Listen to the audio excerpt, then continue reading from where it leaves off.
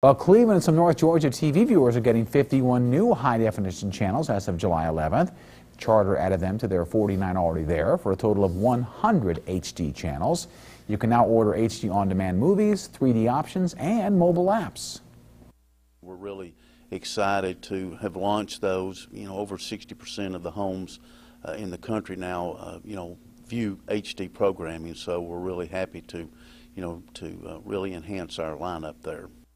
And of course, we always like to remind you that only local HD newscast is right here. You're watching it. It is WDEF News 12.